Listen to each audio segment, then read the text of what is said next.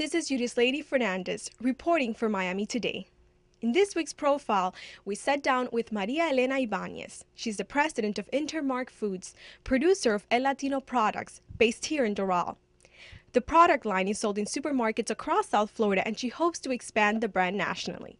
But this is not the first time that Miss Ibanez has had success at forming a company. She's done this twice before.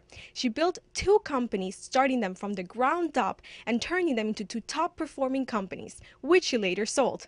But her focus now is on expanding El Latino brands. In the years to come, she hopes to have the brand sold in supermarkets across the U.S. so that others can enjoy her product line. Well, I was really looking to do two things. To have a company that was local, where I can get in my car and see my customer.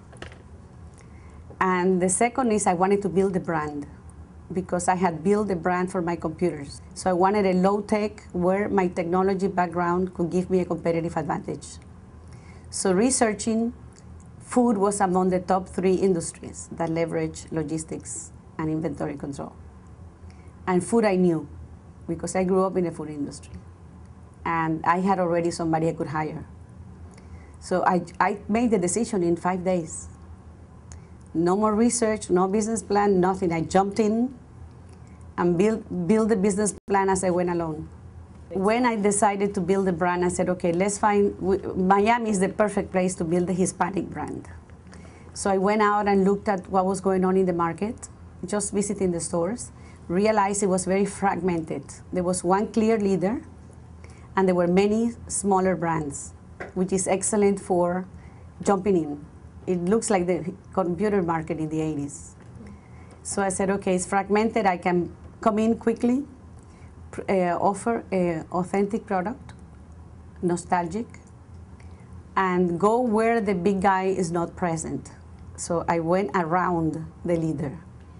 So I started in the refrigerated section because the leader wasn't there. In the refrigerated section, cheese was one of the best sellers. So I said, okay, let's build the cheese line and it has to be perfectly authentic. So that's my focus. And that's why uh, the consumer buys one product. When I launch a second product, they know it's going to be authentic. So they automatically go to the next one and the next one. I have very loyal consumers.